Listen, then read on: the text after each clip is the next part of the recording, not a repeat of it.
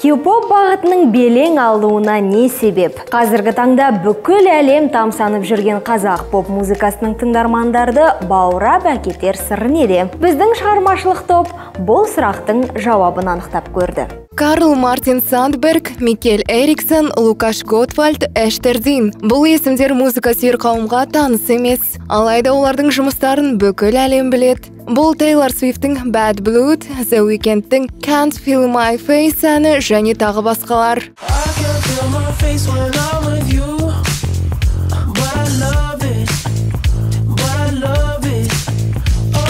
Танымал орындаушыларға әндерді шағын топтың адамдары жазатыны баршаға аян. Алайда батыста бұл туралы жиі айта бермейді. Себебі әр тұлғаны тума дарын деп көрсету әлде қайда оңай. Ал оның артында бір топ білікті мамандар тұрғанын жариялай бермейді. Брендті фокус топтар арасында сынақтан өткізу қатал маркетинг. Музыка индустриясына Риана мен Кэти Перри сынды майталмандардың келуіне себеп. Уақыт өтті, талғам өзгерді. Продюсерлер ғана емес тыңдарман да әдемі әуенге зәру. Енді аудиторияны мида тез сақталатын музыкалық фраза арқылы қызықтыруға болады. Мұндай үлгі Backstreet Boys кезінен тиімді жұмыс істеп келеді. Бүгін мұны оңтүстік корея топтарының табыстылығына қарап аңғаруға болады. Бумбая not today bang bang bang кей-поп жанкерлердің басында баяғыдан ойнауда. Bang bang bang.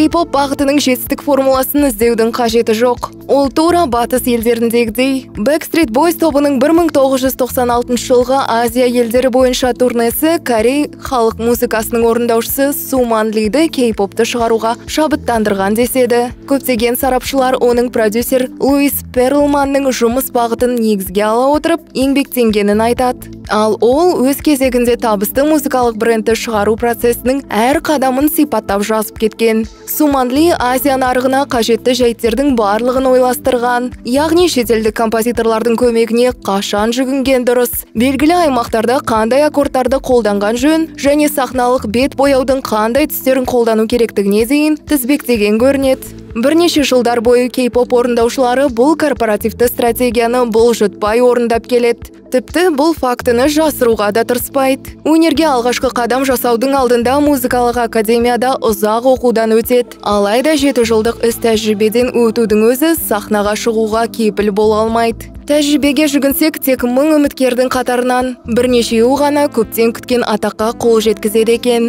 Біреулерге бұл тым қатыгездік болып көрінер. Алайда дәл осы тәсіл оңтүстік кореяға шоу бизнестегі өз орнын нығайтуға көмектесті.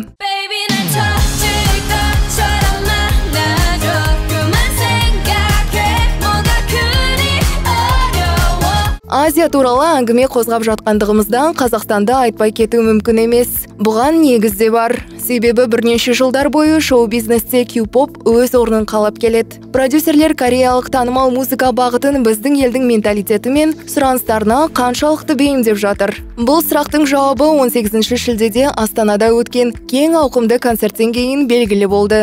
K-Culture Partyда Кореяның AOA, Highlight және B1, A4 секілді табысты жобалары өнер көрсетті. Қазақстандық әртістер де кештен қапы қалмай, 91 мен Black Dial жігіттер де концерттің сәнін келтірді. Жиналғандардың қошеметіне қарап, біздің өнерпаздардың кәсіби шеберлігі кеш қонақтарынан кем түспегенін аңғаруға болады.